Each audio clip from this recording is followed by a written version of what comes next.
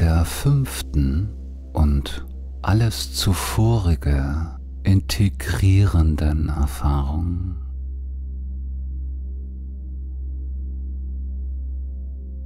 Mit der Vorstellung, dort unten in deinem Bauch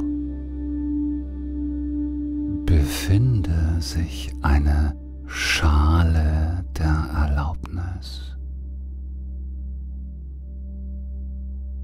der es unendlich viel Platz gibt